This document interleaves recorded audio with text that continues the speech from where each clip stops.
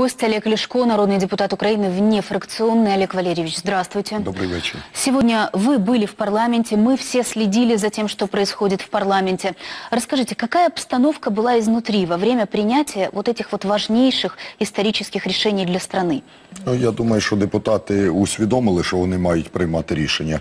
Я два місяці казав, що парламент має брати на себе відповідальність. Вони уникали відповідальності. Рибак робив вигляд, що нічого не відбувається, бо проблема була в тому, що парламент був керований з адміністрації президента. Їм казали, нічого не робіть. Парламент оці рішення, які прийняв сьогодні, він міг би прийняти два місяці тому. Не було б сотень убитих людей, героїв, не було б тисячі закатованих, поранених, викрадених і так далі. Тому парламент насправді несе відповідальність за ту трагедію, яка відбулася в Україні. І моє тверде переконання, після того, коли буде більш-менш стабілізована ситуація, мають бути оголошені вибори не лише президентські, як ми це зробили, а й парламентські дострокові вибори мають бути оголошені.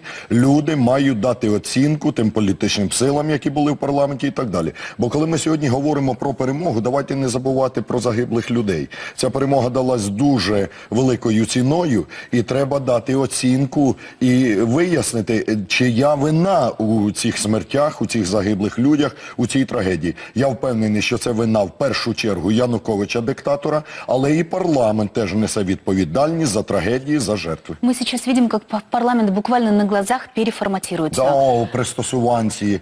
Подивіться, ті, хто виходили, коли Юля програла президентські вибори, вони всі побігли від бюту до партії регіонів. Тепер, коли Янукович е, закінчився, Янукович капут, тепер всі ті, хто бігли від Юлі, тепер біжать від Януковича. Чому я кажу, що повинні бути перевибори? Гнать в шию пристосуванців, повинна бути люстрація влади. Треба заборонити взагалі балотуватися до Верховної Ради всім тим, хто був у Верховній Раді з- і при владі за 23 роки. У списку радикальної партії, яку я очолюю, до парламенту йтиме молодь, герої Грушевського, герої Майдану, Олег герої Валерьевич, давайте вы не інститутських. будете пока начинать свою личную избирательную кампанию. Це не кампанія. Я кажу, що А, треба люстрація Вернемся влади. к теме Юлии Тимошенко, о которой вы сегодня говорили, о которой мы э, говорили сегодня целый день. Да. Как вы считаете, появление такой фигуры, как Юлия Тимошенко, на активном политическом небосклоне Украины, насколько это спутает карты другим желающим побороться за должность президента, а их у нас немало? Е, Ну, по-перше, я радий, що нарешті Юля вийшла, да? бо я так само з іншими боровся і робив все для того, щоб вона вийшла, і я її вітаю. Слава Богу, що вона жива, бо була загроза, що ця банда спробує щось з нею зробити буквально сьогодні. Щодо того, чи сплутає Юля карти, да, звичайно, сплутає і всім. Я думаю, що багато з тих, хто сьогодні у Верховній Раді кричав Юлі волю, насправді сьогодні питимуть горілку через те, що вона отримала цю волю. Бо політика це в переважній більшості це фарисеї і циніки. Говорять одне, думають інше. Один Ляшко говорить правду, за що мене і не люблять більшість у Верховній Раді. спорне Я наведу вам, утверждення. я наведу вам приклад. Допа Гепа, хто з людей не знає, це Добкін Кернес, утекли за кордон. Я вранці криком кричав, давайте приймемо рішення заборонити їм виїзд за кордон. Що касається- Верховна Рада не підтримала, вони втекли за кордон. Что касается вашего предложения, вы предложили в Верховной Раде э, запретить выезд за границу. Так. Кому и каким образом? Значить, цей проект постанови зареєстрований. Я сподіваюся вимагатиму, щоб завтра Верховна Рада його розглянула. Заборонити виїзд за кордон всім державним чиновникам, усім посадовцям органам центральної виконавчої влади, усім керівникам органам місцевого самоврядування, бо треба зараз розбиратися, хто скільки вкрав, хто скільки нахімічив, То есть вы скільки хотите визен- полстраны сделать невыездными? Чому полстрани? У нас чиновників за підрахунками, тобто ця постанова стосуватиметься десь тисяч 20 людей. 20 тисяч чоловік, Да, 20 щоб були тисяч невиїзні. людей, що були невиїзні, абсолютно правильно. В 2004 році, після перемоги революції, всі втекли. І ніхто не відповів, бандити прикантувалися, в 2010 році вернулись при Януковичу. Я не хочу, щоб зараз відбулося те саме. Я хочу, щоб ті, хто обкрадав країну, ті, хто знущався над людьми, сіли на лаву підсудних. Тому я пропоную парламенту негайно прийняти рішення про заборону виїзду за кордон державних чиновників. Крім того, на жаль, Верховна Рада не підтримала моєї пропозиції, але я буду наполягати і далі. Треба заарештувати, негайно заарештувати за сепаратизм, за розкол Добкіна, Кернеса, Могильова. Вони виїхали за границю. Виїхали, я їх з-під землі найду. Дайте мені можливості, і я їх за тиждень найду і привезу сюди, у багажнику автомобіля. Як ізраїльтяни е, цього цього е, убивцю кота із Освенціма у Аргентині чи в Бразилії. Вкинули в багажник і в Ізраїль привезли. Ейхмана. Я зроблю те саме. Е, По-іншому з бандою не можна. Я два місяці чи три, коли почалась революція, я один із небагатьох, хто казав.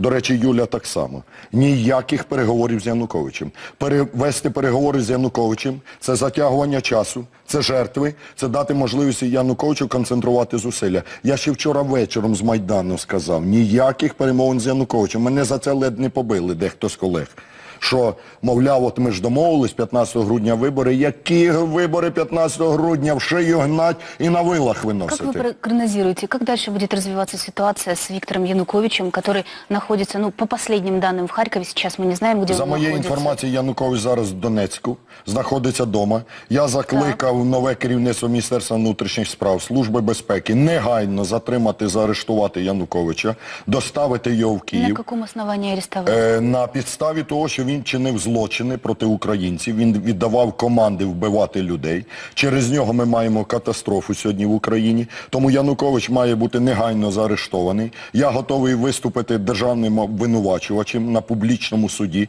Я вважаю, що суд публічний над Януковичем має бути проведений на Майдані, на тому місці, де вбивали людей. Олег Валерьевич, все, что вы предлагаете, это, конечно, м- м- мало, радикаль- мало походит на легитимные способы Ні, ви решения помиляєтеся. Насправді треба зробити прививку на все життя. Для будь-кого, хто прийде до влади, щоб знав, що захоче стати Януковичем, отримає те саме. Історична місія Майдана не в тому, що ми поміняли Януковича. Янукович це політичний пігмей, боягуз. Він від яйця колись падав. Тепер подивіться коментарі, дає таке враження, що в памперсах мокрих. Історична місія Майдана в тому, що він показав casal. Що влада повинна рахуватися з людьми.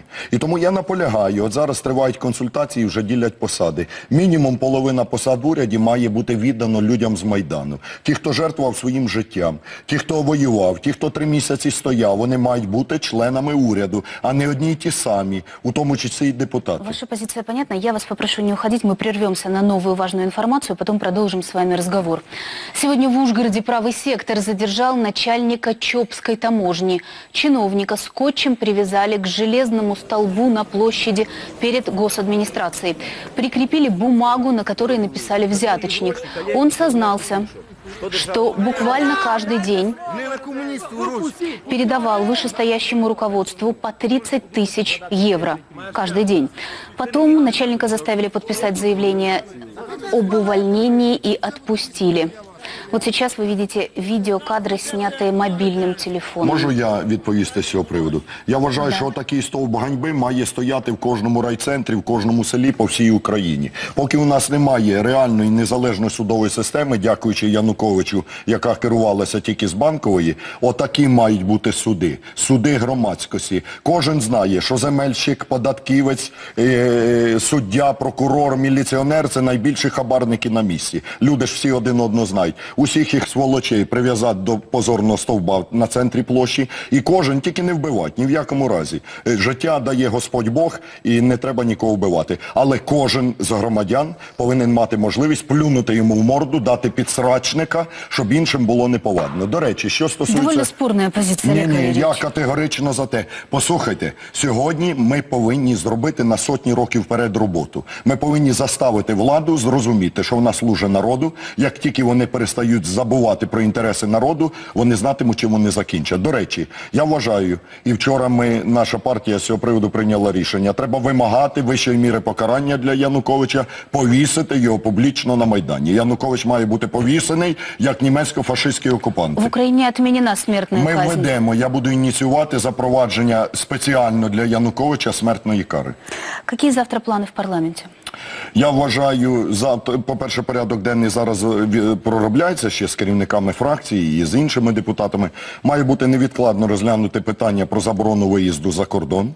Мають бути невідкладно розглянуті питання, зокрема й по Національному банку. Я, до речі, до вас приїхав з Національного банку, де відбулася наша зустріч із керівництвом Нацбанку. Адже ситуація економічна катастрофічна, і ми маємо вжити заходів до стабілізації гривні, до того, щоб люди не втрачали свої заощадження. Крім того, я наполягатиму, щоб парламент нарешті завтра прийняв мій закон. Законопроект про мораторій на закриття лікарень, бо влада Януковича позбавила, позбавила можливості людей лікуватися. Нова влада має це зробити. Я вважаю, що ми повинні завтра прийняти рішення про звільнення політичних в'язнів, так званих васильківських терористів, е, оборонців Реймарської, інших політв'язнів, бо в нас не тільки Юлія Володимирівна політв'язнів, ну, у нас десятки інших політв'язнів, які ми маємо негайно визволити. І я з цього приводу зареєстрував відповідний законопроект. Спасибо вам за вашу позицию. Мы будем наблюдать завтра за работой Верховной Рады и за вашей работой в том числе. Крім Спасибо. того, останнє, що я хотів сказати, герої, які загинули, я е, вважаю, що вони мають бути поховані на Аскольдовій могилі, як герої Крут. Спасибо вам за вашу позицию. Дякую вам. Это был народный депутат Украины Олег Лешков, не фрак-